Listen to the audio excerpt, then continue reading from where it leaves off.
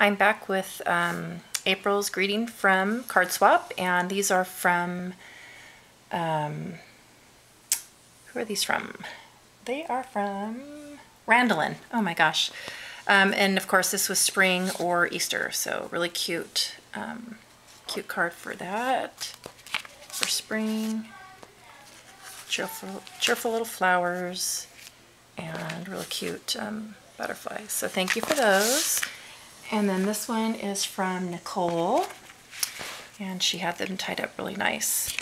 Um, oops, so, um, real beautiful card.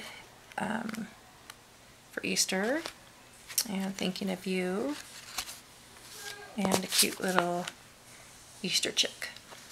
So thank you for those. And these are from Chris. Very pretty. I like the butterfly stamp. And then spring. And I don't know if that's a stamp or a cutout, but I really like that one. Really pretty. And then this cute um, springy butterfly.